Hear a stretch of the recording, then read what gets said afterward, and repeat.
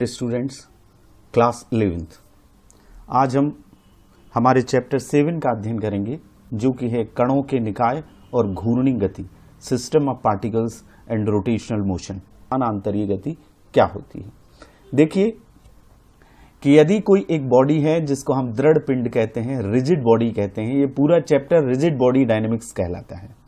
Rigid body वो जिसमें जो जितने कण होते हैं, जिस अंदर जितने कण होते हैं, उनकी दूरी नहीं बदलती, उनके आयतन और आकार में परिवर्तन नहीं होता।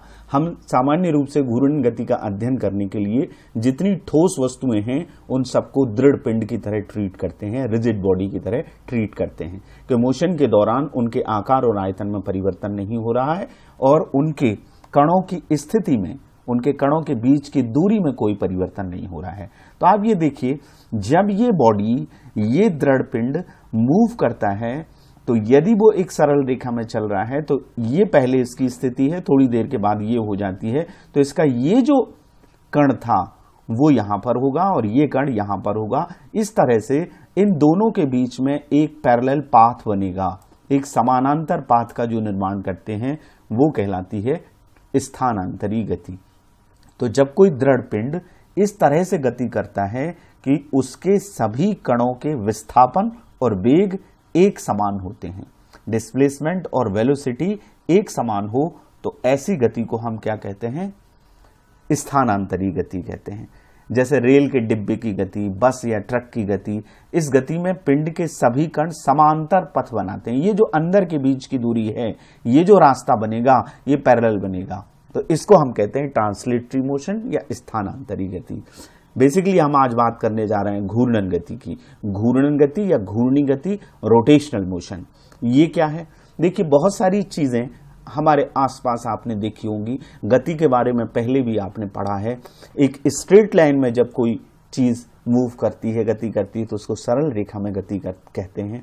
जब एक वृत्ताकार रास्ते का निर्माण करती है, तब उसको हम वृत्तीय गति कहते हैं सर्कुलर मोशन कहते हैं, ये पहले आप पढ़ चुके हैं। घूर्णन गति क्या है? अपने घरों में आसपास आपने देखा होगा, ये पंखा। अपने अक्ष, अपने अंदर से जाने वाले इस एक्सिल के चारों तरफ़ इसकी ब्लेड घूमती हैं। ये इसका अक्ष है। कुम्हार जब बर्तन बनाता है तो उसका, कुम्हार का जो चौक होता है, उस पर ये बर्तन बनाता है। तो ये चौक घूमता है तो ये एक अक्ष के परिता घूमता है। ये घूर्णन गति है। और बहुत सारे उदाहरण हैं। लट्टू जो होता है उसको आप घुमाते हैं ज़मीन पर तो वो अंदर से जाने वाले एक अक्ष की तरफ़ घूमता है। मेले में आप जाते हैं उत्सव में आप जा, जाते हैं तो झूले में झूलते हैं इस तरह के तो वो घूर्णन गति करता है। हेलीकॉप्टर की जो ब्लेड होती है वो घूर्णन गति करती हैं। और आपने पढ़ा है पृथ्वी अपने अक्ष पर 24 घंटे में घूम जाती है तो अक्ष पर भी घूमती है और सूर्य के चारों तरफ़ भी घूमती है। सूर्य के चारों तरफ़ जो घूमना है वो वृत्ति गति है और अपने ही अक्ष पर अंदर से जाने वाले अक्ष पर घूमना है, वो घूर्णन गति है। ये जो पवन चक्कियाँ हैं, ये घूमती हैं, ये सारी घूर्णन गति के उदाहरण हैं। हम इसे समझते हैं कि है क्या? कि जब कोई दृढ़ पिंड बल या बल युग्म लगाने पर। बल युग्म यानी बलों का जोड़ा। जब आप किसी बोतल के ढक्कन को खोलते हैं तो आप दो बराबर और विपरीत बल लगाते हैं, जिससे उसका ढक्कन खुल जाता है। आपका पेन आप रिफिल डालने के लिए खोलते हैं तो उंगली और अंगूठे से आप बल युग्म का निर्माण करते हैं। एक बल आप एक दिशा में लगाते हैं और दूसरा अंगूठे से दूसरी दिशा में लगाते हैं। फलस्वरूप वो घूमने लगती है। अक्ष के परिता घूमने लगती है, जिससे वो आपका पेन खुल जाता है और आप उसकी रिफिल को चेंज कर लेते हैं। तो जब किसी दृढ़ पिंड पर, बल या बलयुग्म लगाने पर वह स्वयं में से होकर जाने वाले अक्ष के परिता घूमने लगती है तो उसकी इस गति को घूर्णी गति कहते हैं और जिस एक्सिस के अबाउट वो रोटेशन करती है, उसको हम घूर्णन अक्ष कहते हैं। अभी आपने उदाहरण देखे, ये एक लट्टू है स्प्रिंग टॉप है, ये इसका एक्सेस है, ये इसके चारों तरफ़ घूमता है। चाहे वो पंखा हो सीलिंग फ़ैन हो या टेबल फ़ैन हो तो ये घूमती हैं पंखुड़ियाँ, ये सब घूर्णन गति हैं, जिसको हम देख चुके हैं। तो घूर्णन गति आप समझ चुके जब किसी वस्तु पर बल या बलयुग्म लगाया जाता है तो वो अपने अंदर से जाने वाले अक्ष के परिता घूर्णन करने लगती है, घूमने लगती है। एग्ज़ाम्पल आप नोट करें, जैसे पहिए की गति, पंखे की ब्लेडों की गति, पृथ्वी की अपनी अक्ष पर घूर्णन करना। सीडी प्लेयर जो होता है, उसमें सीडी जो घूमती है, वो घूर्णन गति है। घिरनियों की गति, पानी हम कुएँ से निकालते हैं, जो घिरनी होती है, चक्र होता है, उसकी गति क्या कहलाती है? घूर्णन गति कहलाती है। कब्जे के परिता दरवाजे की गति। दरवाजे का एक एक्सेस है, जहाँ हिंज किया गया है उसको तो हम दरवाजे को खोलते हैं या लगाते हैं तो उसकी जो, ये जो गति हो रही है, ये घूर्णन गति का उदाहरण है। अब घूर्णन गति में कुछ की पॉइंट्स आपको नोट करने हैं, कुछ इंपॉर्टेंट फैक्ट्स आपको जो घूर्णन गति को समझने में आपकी मदद करेंगे। सबसे पहली बात तो ये देखिए कि ये जो रिजिड बॉडी है, ये जो दृढ़ पिंड है, ये घूम रहा है। इस तो जब ये घूमता है तो इसके जितने अवयवी कण होते हैं, वो इस अक्ष के, ये इसका एक्सिस है वाई वाई वाई डैश इस तरह से ये बॉडी घूम रही है। तो इसके अंदर बहुत सारे कण हैं। इस तो ये जो कण हैं, ये घूर्णन अक्ष के परिता एक वृत्ताकार रास्ते का निर्माण करते हैं। यानी सारे जो कण हैं, वो वृत्तीय पथ में गति करते हैं। घूर्णन गति में अवयवी कण वृत्ति मार्ग में गति करते हैं। उन सारे वृत्तों का केंद्र घूर्णन अक्ष पर होता है। ये इसका एक्सिस है। इसके चारों तरफ़ ये बॉडी मूव कर रही है। पहली बात। दूसरी बात कौड़ीय वेग ओमेगा ओमेगा, जो कि वृत्तीय गति में हमने पढ़ा, v equal to R omega जो कि रिलेशन भी था, रेखीय वेग और कौड़ीय वेग में संबंध। घूर्णन गति या वृत्ति गति जब आप पढ़ते हैं तो सारी चीज़ें कौड़ीय एंगुलर फॉर्म में होती हैं। वहाँ ये एनोलॉजी है। वहाँ आप रेखीय वेग पढ़ते हैं, यहाँ आप कोणीय वेग पढ़ते हैं। वहाँ आप रेखीय त्वरण पढ़ते हैं, यहाँ आप कोणीय त्वरण एल्फा पढ़ते हैं। वहाँ आप रेखीय संवेग पढ़ते हैं पी यहाँ आप कोणीय संवेग पढ़ते हैं। तो ये सारी चीज़ें आपको इस पूरे चैप्टर में पढ़ने को मिलेंगी। तो कौड़ी वेव ओमेगा समान होना, यानी केंद्र पर ये जो कण, कोण बनाते हैं, ये बराबर कोण होगा। ये कण जब मूव करेगा तो मान लीजिए वो यहाँ आएगा तो दूसरा कण मूव करेगा तो वो यहाँ आएगा। तो इसका प्रति सेकंड केंद्र पर बनने वाला कोण समान होता है? कोणीय वेग ओमेगा समान होता है, लेकिन रेखीय वेग इसका अलग अलग होगा ये जो मोशन करेगा इस तरह से, इसका लीनियर वेलोसिटी जो है, वो अलग अलग होगी। वी अलग अलग होगा, लेकिन ओमेगा समान होगा। तीसरी बात पिंड का प्रत्येक कण घूर्णन अक्ष के लंबवत तल में गति करता है। ये घूर्णन अक्ष है इसके अंदर से जाने वाला। तो ये जो कण है इसके पर, इसके परपेंडिकुलर हैं इसके लंबवत हैं 90 डिग्री का कोण बनता है तो लंबवत तल में ये गति करते हैं वृत्ति गति करते हैं। और यदि कण घूर्णन अक्ष पर जितने कण होते हैं, उनका रेखीय वेग शून्य होता है। वो अक्ष पर स्थित हैं, इसलिए उनका प्रति सेकंड जो विस्थापन है, वो ज़ीरो होगा, इसलिए रेखीय वेग क्या होता है? शून्य होता है। और पांचवी बात जो आपको ध्यान रखती है, रोटेशनल मोशन 2D और 3D हो सकती है। द्विविमीय है या त्रिविमीय है। एक्स वाई एक्सिस में और एक्स वाई और जेड तीनों एक्सिस में उसके जो एलिमेंट्स हैं, उसके जो अवयवी कण हैं या वस्तु है, वो गति कर सकती है तो इसलिए वो द्विविमीय या त्रिविमीय है। अब आगे चलते हैं। टार्क की बात करेंगे। मोमेंट ऑफ़ फोर्स जिसको इंग्लिश में कहते हैं, बल आघूर्ण। तो बल के कारण जो प्रभाव पैदा होता है, उसको हम बलागुन कहते हैं। ये आप जानते हैं क्या है? इसको हम स्क्रू ड्राइवर कहते हैं, इसको पैचकस कहते हैं। पैचकस से आप स्क्रू को खोलते हैं। दूसरी चीज़ आप देखिए, ये एक दरवाज़ा है। आप सोचिएगा कि इस पेचकस का जो हैंडल है वो बड़ा बनाया जाता है। आप बड़े पेचकस से किसी स्क्रू को खोलेंगे तो आपको खोलने में बहुत आसानी होती है। और छोटे पेचकस से आप खो, खोलेंगे जिसका साइज़ बहुत छोटा हो तो आपको ज़्यादा फोर्स लगाना पड़ेगा। इसी तरह से यदि आप दरवाजे के कोने पर बल लगाकर दरवाजे को खोलते हैं या दरवाजे को लगाते हैं तो आपको कम बल लगाना पड़ता है। यदि आप यहाँ बल लगाएँगे तो इसको खोलना और लगाना मुश्किल होगा। तो सवाल ये कि ऐसा क्यों है? इससे हम हमारी बल आघूर्ण के कॉन्सेप्ट को समझेंगे। जब आप बल अक्ष के पास लगाते हैं तो आपको बल ज़्यादा लगाना पड़ता है। यानी जब दूर लगाएँगे तो इस बल का प्रभाव ज़्यादा होता है। तो इसका मतलब है दरवाज़ा एक दृढ़ पिंड है, जो कब्जे के परिता घूर्णन कर सकता है। तो मैंने कि जैसे बताया कि इसके सिरे पर आप जब फोर्स लगाते हैं तो उसको आसानी से घुमाया जा सकता है। लेकिन इस कब्जे के पास से आप बल लगाएँगे तो इसको घुमाना कठिन है। तो इसका मतलब यह हुआ कि घूर्णन गति कराने के लिए बल के परिमाण के अतिरिक्त यह भी महत्वपूर्ण है कि बल कहाँ लगाया जा रहा है। तो इस घूर्णन गति में इस बल के समतुल्य जो राशि है, उसका नाम है बल आघूर्ण। बल आघूर्ण का मतलब क्या होता है? यदि कोई बल पिंड के अक्ष के पास लग रहा है यह बात हमने अभी समझ ली। तो उसका प्रभाव अक्ष के पास लग रहा है तो प्रभाव कम होता है। यहाँ बल लग रहा है तो इफ़ेक्ट कम होगा। और दूर बल लगा रहे हैं तो इसका प्रभाव अधिक होता है। बल के इस प्रभाव को ही हम क्या कहते हैं? बल आघूर्ण। किसी अक्ष के परितः बल आघूर्ण, बल के परिमाण और घूर्णन अक्ष से बल की क्रिया रेखा की लंबवत दूरी के गुणनफल के बराबर होता है। इस पूरी बात को हम आगे समझेंगे। पहले इस डेफिनेशन को, इस परिभाषा को आप नोट करें। बल आघूर्ण क्या है? बल का प्रभाव। बल के द्वारा घूर्णन में जो प्रभाव होता है, उसको कहते हैं बल आघूर्ण। इसकी माप करने के लिए इसकी डेफिनेशन ये है। किसी अक्ष के परितः बल आघूर्ण बल के परिमाण और घूर्णन अक्ष से बल की क्रिया रेखा की लंबवत दूरी के गुणनफल के बराबर होता है। अब देखिए, ये जैसे एक स्क्रू को आपको खोलना है और ये नट है तो आप इस फोर्स को, ये जो हमारा स्क्रू ड्राइवर है, ये इस चित्र में आपको दिख रहा है। तो फोर्स को आप ऊपर लगा रहे हैं। ऊपर लगा रहे हैं तो ऊपर लगाने से ये इस अक्ष के परिता घूमने लगेगा।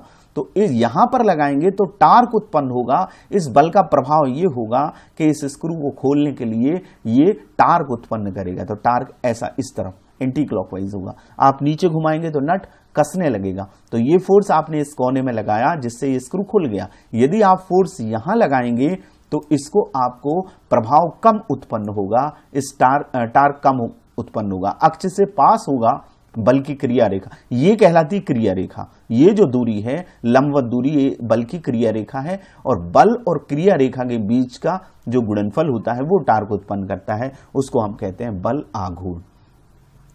तो ये हमने पढ़ा इसकी डेफिनेशन अब देखिएगा इसका फार्मूला कैसे निकलेगा। इस डेफिनेशन से फार्मूला क्या आया? बल आगुण बराबर बल गुणित बल की क्रिया रेखा की अक्ष से लंबवत दूरी।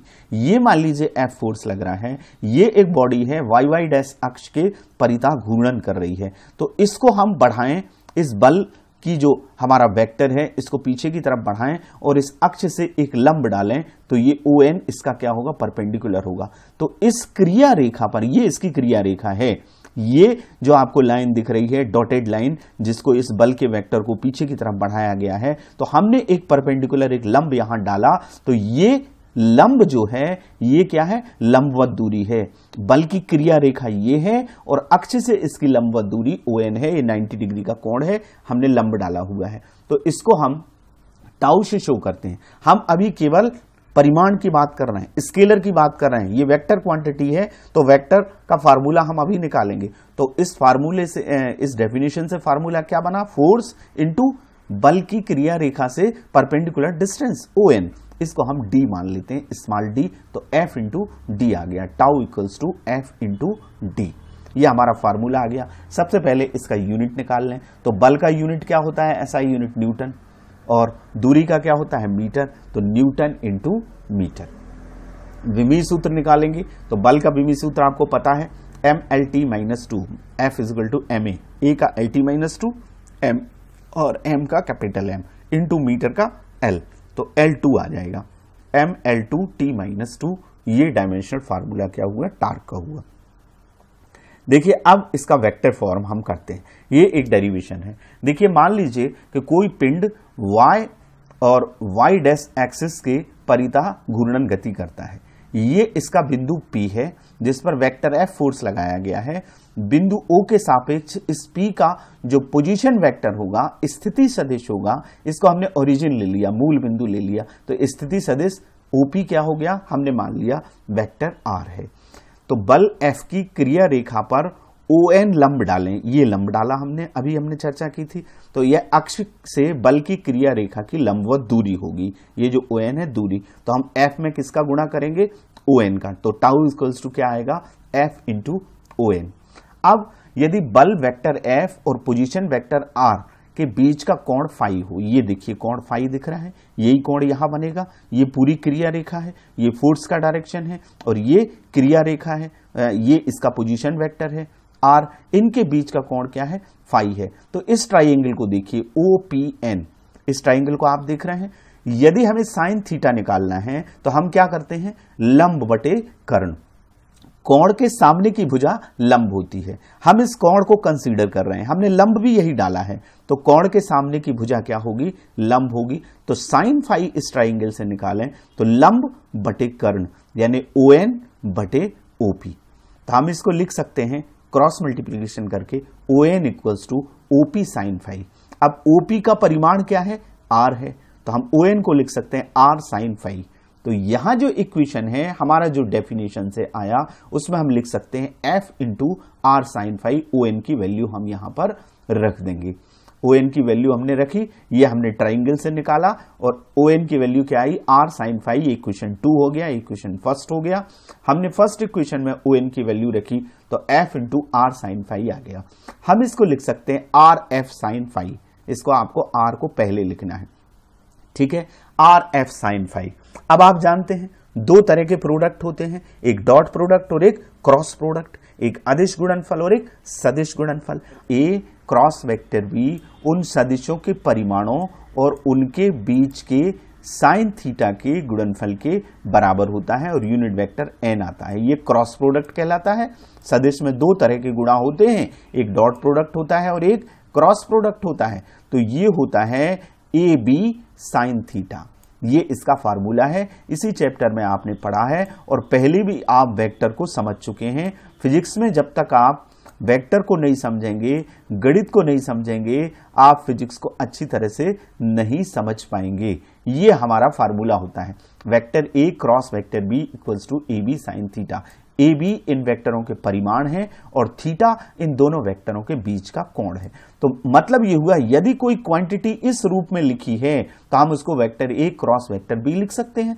अब देखिए आर और एफ़ और साइन फाइव लिखा है तो हम इसको लिख सकते हैं vector tau equals to vector R cross vector F. इसका मतलब ये हुआ कि किसी अक्ष के परितः, किसी पिंड का बल आघूर्ण, उसकी स्थिति सदिश और बल के सदिश गुणनफल के बराबर होता है। आप स्केलर फॉर्म में लिखेंगे तो एफ़ इंटू आर लिख सकते हैं, कोई दिक्कत दिक्कत नहीं है। लेकिन वेक्टर फॉर्म में लिखेंगे तो आपको आर क्रॉस एफ़ ही लिखना पड़ेगा। क्योंकि वो क्रम नियम का पालन नहीं करता। अब हम बात करते हैं दूसरी क्वांटिटी की कौड़ीय संवेग।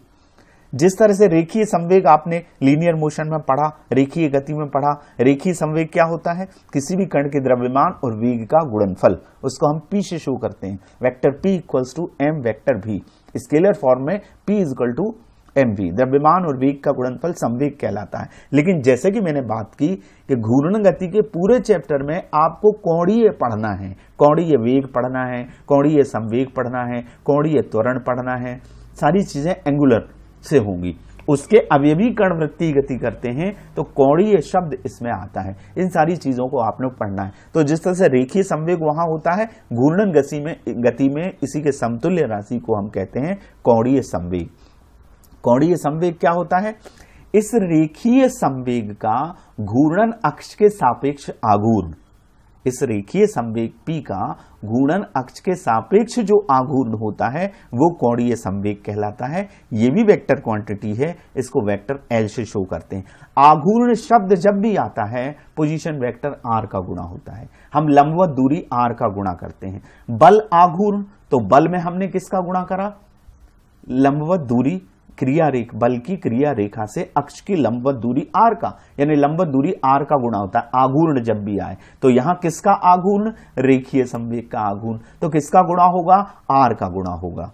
तो रेखीय संवेग गुणित घूर्णन अक्ष से कण की लंबवत दूरी। कौड़ीय संवेग का सूत्र क्या होगा मैंने आपको बताया, इसको नोट कर लीजिए। आघूर्ण यानी आपको कण की लंबवत दूरी का गुणा करना है घूर्णन अक्ष से। तो रेखीय संवेग में यदि हम लंबवत दूरी का गुणा कर देते हैं तो कौड़ीय संवेग आ जाता है। स्केलर फॉर्म की बात हो रही है, केवल परिमाण की बात हो रही तो एल बराबर आएगा पी इंटू आर जब इसका वेक्टर फॉर्म आएगा तो वेक्टर आर यहाँ आ जाएगा, क्यों आर और वेक्टर आर में फ़र्क है। वेक्टर जब लग जाता है तो परिमाण के साथ साथ दिशा भी इसमें बतानी पड़ती है। तो जब डायरेक्शन का कॉन्सेप्ट आ जाता है तो P इंटू आर आप vector P into vector R नहीं लिख सकते। Vector R into cross vector P आपको लिखना पड़ेगा। वो कैसे? हम आगे आपको बताएँगे। सबसे पहले इसकी हमने डेफिनेशन समझ ली, इसको नोट कर लीजिएगा। घूर्णन गति में किसी कण के रेखीय संवेग का आघूर्ण। किसी कण के रेखीय संवेग का आघूर्ण। यहाँ में आएगा, घूर्णन गति में किसी कण के रेखीय संवेग का घूर्णन अक्ष के सापेक्ष आघूर्ण। कण का कोणीय संवेग कहलाता पी इंटू आर इसका यूनिट हुआ। इसका फार्मूला हुआ, यूनिट पी का क्या होता है? एम वी होता है तो एम किलोग्राम वी का मीटर पर सेकेंड और आर का दूरी का मीटर। तो ये हो जाएगा किलोग्राम मीटर स्क्वायर पर सेकंड। सेकंड को आप ऊपर ले जा सकते हैं, सेकंड माइनस वन। सेकंड के ऊपर माइनस पावर आएगा, दोनों बातें एक ही हैं। डायमेंशनल फार्मूला होता है M L two T minus one कैसे? इसका P का M L T minus one होता है। एक L और मल्टीप्लाई होगा तो M L two T minus one इसका डायमेंशनल फार्मूला या विमी सूत्र आएगा। अब हम कोणीय संवेग का वेक्टर फॉर्म निकालते हैं। हमने अभी पढ़ा कोणीय संवेग बराबर रेखीय संवेग गुणित घूर्णन अक्ष से कण की लंबवत दूरी। तो मान लीजिए कि ये m द्रव्यमान का एक कण है, P मूल बिंदु O के सापेक्ष इसका पोजीशन वेक्टर स्थिति सदिश ये वेक्टर R है। तो वेक्टर OP को हम क्या कहेंगे? वेक्टर आर कण का रेखीय संवेग वेक्टर फॉर्म में क्या लिखेंगे? वेक्टर पी है। इस कण का रेखीय संवेग ये है, वेक्टर पी इस कण का नाम पी है और इसका रेखीय संवेग स्मॉल पी है, द्रव्यमान स्मॉल एम है। तो अक्ष इस ओ के अबाउट इस कण का कोणीय संवेग परिभाषा से क्या निकलेगा? रेखीय संवेग गुणित घूर्णन अक्ष से कण की लंबवत दूरी। इसको हमने बढ़ाया। इसको बढ़ाया और इस पर लंब डाला, जैसे कि बल आघूर्ण के डेरिवेशन में हमने किया था। तो लंबवत दूरी क्या आएगी? ओ एन आएगी। ओ एन आएगी तो एल इजल टू क्या लिख सकते हैं हम? P into O N P हो गया रेखीय संवेग का परिमाण और ओ एन हो गई इसकी लंबवत दूरी। अब ये ट्राइंगल फिर से देखिए वही का वही। O P N O P N में आप यदि ओ एन को निकालना चाहते हैं तो यदि वेक्टर आर इस वेक्टर पी के बीच का कोण थीटा है तो साइन थीटा बराबर क्या होगा? लंब ओ एन बटे कर्ण ओपी ठीक उसी तरह से ओ एन इजल टू क्या आ जाएगा? OP sine theta. ये ओपी का हमने तिरक गुणा कर दिया। ओपी की वैल्यू कितनी है? ओपी की वैल्यू का परिमाण क्या है? आर है। तो ओ एन बराबर क्या आएगा? R sine theta. कुल मिला के जो लंबवत दूरी है, उसका मान आर साइन थीटा आता है। चाहे आप बल आघूर्ण का सदिश रूप निकाल रहे हो, चाहे आप कोणीय संवेग का निकाल रहे हैं। यहाँ क्या आएगा? आर साइन थीटा तो हमारा जो इक्वेशन है L equals to P into O N triangle से हमने साइन थीटा निकाला और ओ एन निकाल लिया। तो ओ एन की वैल्यू जब हमने इसमें रखी तो ये आ गया P into R sine theta इसको हम आर पी साइन थीटा लिख सकते हैं। आर पी साइन थीटा ये वही वेक्टर हो गया। ये सदिश गुणनफल हो गया। किसका? वेक्टर आर और वेक्टर पी का। Vector A cross vector P B equals to होता है A B sine theta unit vector N unit vector दिशा बताता है, उसका परिमाण एक होता है। तो ये फार्मूला है। तो आर पी साइन थीटा को हम क्या लिख सकते हैं वेक्टर फॉर्म में? Vector L equals to vector R cross vector P ये कोणीय संवेग का वेक्टर फॉर्म है। हम ये कह सकते हैं कि किसी कण का, किसी पिंड का, किसी अक्ष के परितः कोणीय संवेग उसकी अक्ष से उसके स्थिति सदिश और रेखीय संवेग के सदिश गुणनफल के बराबर होता है। एक बात और, आप इस पी की वैल्यू क्या जानते हैं? रेखीय संवेग एम भी होता है। तो इस पी की जगह हम क्या रख सकते हैं? एम भी तो ये आ गया vector R cross M vector V M क्या है? स्केलर है। एम अधिस राशि है। एम को हम बाहर ले सकते हैं। तो हम इसको इस तरह से भी लिख सकते हैं। Vector L equals to M vector R cross vector V ये फार्मूला भी कोणीय संवेग का है और ये फार्मूला भी कोणीय संवेग का है, ये फार्मूला भी कोणीय संवेग का है, ये फार्मूला भी कोणीय संवेग का है। ये दोनों अदिश फॉर्म है, केवल परिमाण है और ये वेक्टर फॉर्म है इसका। ये इसमें दिशा भी होती है, जो कि हम स्क्रू रूल से निकालते हैं। कैसे निकालते हैं?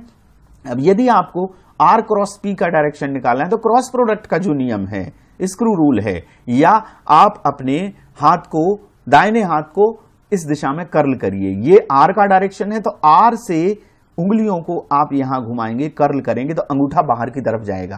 अंगूठा कहाँ जाएगा? बाहर की तरफ़ जाएगा। तो जिस दिशा में अंगूठा जाता है, वहाँ वेक्टर एल की डायरेक्शन होगी, ये जेड डायरेक्शन में होगा, ये मेरी तरफ़ होगा, इस वीडियो का आप देख रहे हैं तो इसका डायरेक्शन आपकी तरफ़ होगा, लंबवत होगा। इन दोनों सदिशों के लंबवत तल में दिशा होती है। ये वेक्टर का नियम है, उसमें यह बताया जाता है डायरेक्शन को। अब हम कौड़ीय संवेग और बल आघूर्ण में संबंध निकाल लेते हैं। कौड़ी संवेग क्या हुआ? Vector L equal to vector R cross vector P हमने टी के सापेक्ष इस समीकरण का अवकलन करना है। देखिए डिफ्रेंशिएशन और इंटीग्रेशन दो बहुत इंपॉर्टेंट मैथमेटिक्स हैं जो फिजिक्स में जनरली यूज़ होती हैं। इनको आपको समझना पड़ेगा अवकलन को और समाकलन को। जब हम दो राशियों के गुणनफल का, यदि किसी राशि में दो फलन हैं, उनका अवकलन करते हैं तो उसका एक फार्मूला होता है। वो फार्मूला क्या होता है? यदि दो राशियाँ दो फलन हैं ए और बी और इनका अवकलन कर रहे हैं हम एक्स के सापेक्ष तो इसका सूत्र है पहला फलन गुणित दूसरे का अवकलन प्लस दूसरा फलन गुणित पहले का अवकलन। ये ए और बी दो राशियाँ हैं तो पहले ए को हम वैसे ही का वैसा लिख देंगे बी का अवकलन करेंगे एक्स के सापेक्ष। फिर बी को प्लस करके बी को लिख देंगे, फिर ए का अवकलन करेंगे। तो यहाँ दो राशियाँ हैं, vector R cross vector P तो हम क्या लिखेंगे? ए क्या है हमारा? वेक्टर आर है बी क्या है? वेक्टर पी है। तो हमने इस सूत्र में, ये फार्मूला है उसका, इसको नोट करिएगा। ए को हमने पहले लिख दिया वेक्टर आर और D B by D X हम टी के सापेक्ष कर रहे हैं तो D vector P by D T दूसरे में बी को हमने आगे लिखना है। बी को वैसे ही लिख दिया। Vector D R by D T अब इन सबके मतलब है फिजिक्स में।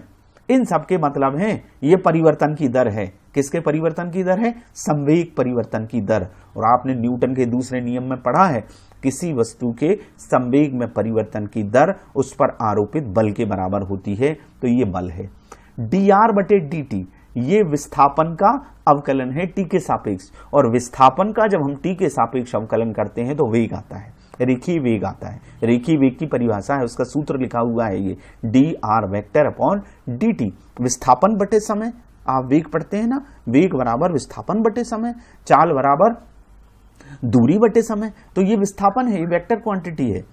तो और पी क्या है? एम वी है। इन सब के मतलब है। ये देखिए, P क्या है? द्रव्यमान गुणित वेग, संवेग है। डी आर बटे डी टी क्या है? वेक्टर भी है। Dp बटे वेक्टर dp बटे dt क्या है? वेक्टर f है, संवेग परिवर्तन की दर जो कि बल के बराबर होती। ये सारी क्वांटिटीज हम इक्वेशन फ़र्स्ट में रखेंगे।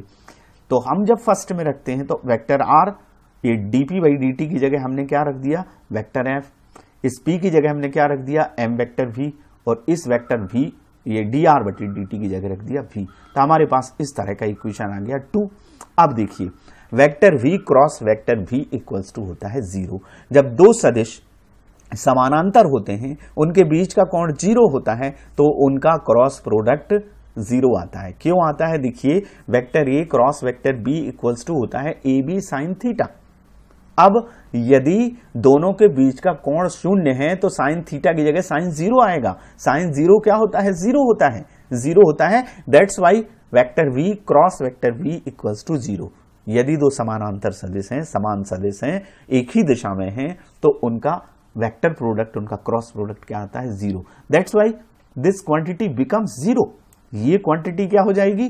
ज़ीरो हो जाएगी। तो हमारे पास इस इक्वेशन का फॉर्म क्या हो जाएगा? Vector R cross vector F ये क्वांटिटी ये पूरी ज़ीरो हो गई तो हमारे पास आ गया vector D L by D T equal to vector R into F ये हमारा इक्वेशन थर्ड आ गया।